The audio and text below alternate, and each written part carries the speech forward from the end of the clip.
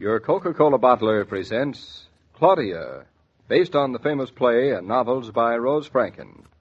Brought to you transcribed Monday through Friday by your friendly neighbor who bottles Coca Cola. Relax. And while you're listening, refresh yourself. Have a Coke. And now, Claudia. Oh, Bobby, you goop. For heaven's sakes, will you stop drooling? Now, come on, come on. You can eat better than this. Now, look, Bobby, open your mouth. Come on. Papa'll be home any minute. I don't intend to spend another second with you then. Oh, no, you, you hoodlum. Oh, look at it. Oatmeal all over the place.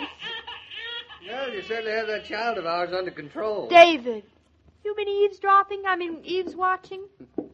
You're just lucky that he threw the oatmeal on the floor and not at you. Hello, boy. Anytime you want to throw oatmeal, you just go right ahead and throw it. Smear it all over the place. Don't let yourself start being bossed by a woman. Would you please mind leaving my kitchen this minute, Mr. Norton? There, give me the rag. I'll help. Where, where are Fritz and Bertha? Go away, go away, go on, Jack. This is not man's work. I gave Fritz and Bertha the evening off. You did? Yeah. You mean that we're all alone here? Don't you love it? We're supposed to go out to dinner tonight. Nonsense. I have it cooking in the stove Whether right you now. have it cooking in the stove or not, we're supposed to go out to dinner tonight. Now, now, Claudia, listen to me. I'm listening, darling. For the last time I repeat to you, we are supposed to go out to dinner tonight. All right. You're so smart. Who are we supposed to go out to dinner with tonight with? That friend of mine, Johnson, from college, who lives down near Stamford. Well, I don't know anybody Johnson who lives down near Stamford, and you know it. I told you I met him on the train, On the that I hadn't seen him for years, and that he invited us to dinner. When? Two weeks ago. Be still, Bobby. Shh, hush. Well, we can't go. That's all there is to it. We can't go. But we have to go. We can't. I made Fritz and Bertha go out. Mm, do you mean to say that you forgot all about it? Of course I forgot. Of course. Of course. Of course. So that's the kind of woman I married. that's the kind of woman you met.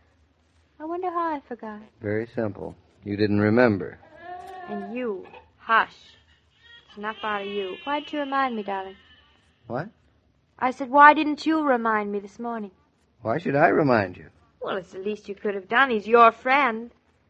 Or could it be, Mr. Norton, that mm. you No, all right, Forgot. all right, all right. I, I'll confess. I, I forgot too. thought so?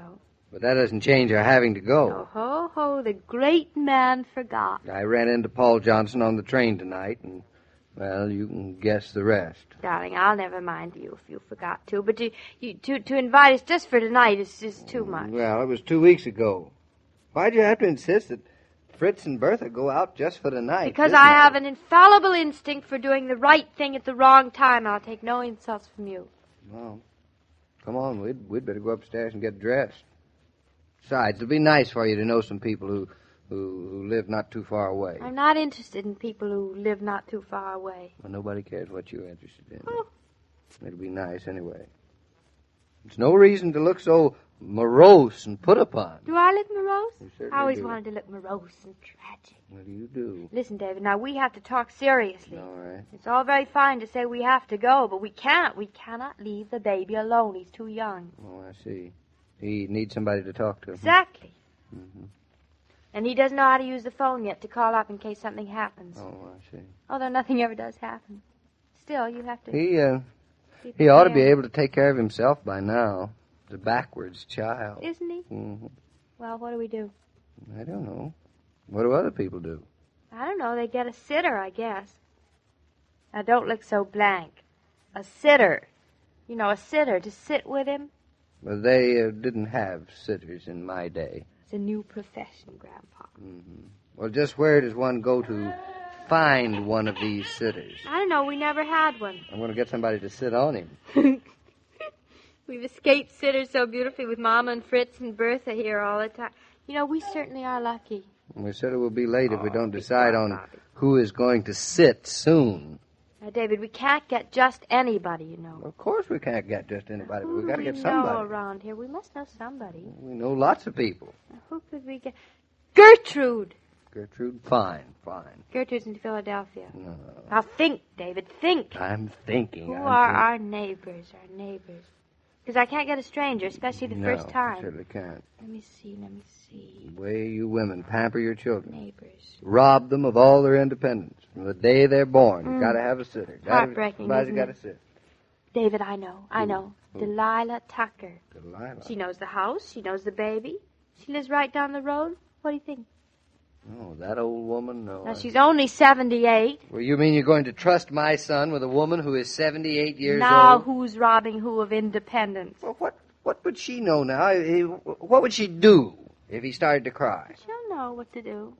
And what makes you think he'll start crying? I don't know. Anyway, Delilah is a grown woman. Also, she has instincts. I don't trust instincts, especially Delilah's instincts. Well, can't be helped. Delilah it is. And we're lucky if she will, too. Hey, David, take my shoes out of the closet while I call up Delilah, would you? Heavens, I hope she can come over tonight. Well, I'm all dressed. Delilah ought to be getting here any minute now. We certainly were lucky she could come. I, I, don't, I don't know what I'd have done if she couldn't. David, what, what would we have done if she couldn't? Hmm, I don't know. What's the difference? There she is now. I'll go down and let her in. Tucker here. My, Delilah's voice certainly has changed, hasn't it? David, it's Mr. Tucker. Where are you young and be? Oh, we're upstairs, Mr. Tucker. Come on up. I'm coming. David, what's Jared Tucker doing here now? I don't know, but we'll soon find out. My, uh, my sister Delilah said her chilblains kicked up. Oh, She dear. said it was her Good. chilblain. I says it was cold feet. Oh, no. Didn't want her to break her promise to a neighbor, so I come instead. You Come came... to sit with your baby. You? None other.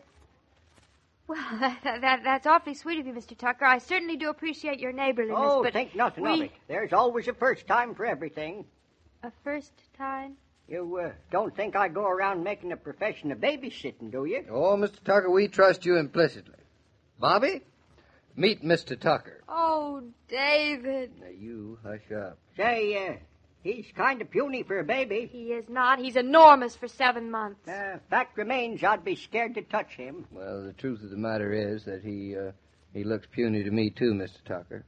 But I tell you, uh, a mother's eyes are like a magnifying glass. David. Now go right ahead. Get acquainted with him, Mr. Tucker. For tonight, he's yours. I don't want no part of him. Uh, he ain't no bigger than a drowned weasel. Now, He's this is Mr. kind of Tucker, homey, Bobby. But he's kind of cute in a way, though. I guess. Say, uh, is he delicate? Well, he'll break if you drop him on his head, Mr. Tucker, but otherwise he's not particularly delicate. I ain't the kind of a man who likes to pick up babies. Well, that's a relief. And I'm warning you, I believe in being strict with them. I don't believe in sparing the rod. Nope. My pappy gave me plenty of good whalings. Made a man of me. Yes, did. There, stop worrying, though, you young feller. I ain't aiming to whale you yet. Not till your ma's turned her back. Say, you got any directions for me? Well, we'll, uh, we'll put him to bed before we go, and pray he sleeps. And we'll give you our telephone number. That is where we'll be, and uh, But- but you can call us. If he cries, Mr. Tucker, well, if he cries, Mr. Tucker, you might have to pick him up. Never. What would he go and cry for? Well, he might be thirsty, or he, well, you, you might have to change his trousers. you know. Change it. Ma'am, I'm 86 years old and I ain't changed the baby's trousers to this day. ain't no time for me to start changing trousers. No. well, it's it's never too late, Mr. Tucker. A, a- a man of your age, Mr. Tucker, so young, so full of life. Why, why, this will be a new experience for you. I think you'd welcome it. Ma'am, I ain't old, but there's some things a man just don't do. Oh, now, Mr. Tucker, not men like you and I. Why, uh, we do everything. I guess we do. Well, it could be if you give me a slight demonstration, I might swing it, but I ain't I ain't going to let it become a habit. I'm warning you. We wouldn't dream of letting it become a habit, Mr. Tucker. Well, come on, we'll go in the nursery and show you around. Uh, things a man's got to do for his neighbors. Say, uh, Mr. Norton, you won't go spreading the word around, will you?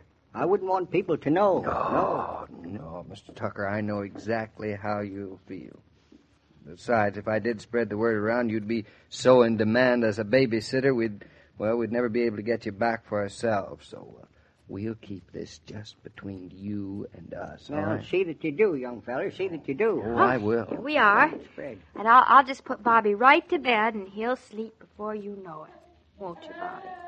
If he's smart, he won't wake up. Hey, he, uh, he sure is puny. If you don't stop saying that, I'm I not don't going to. see what folks see in babies.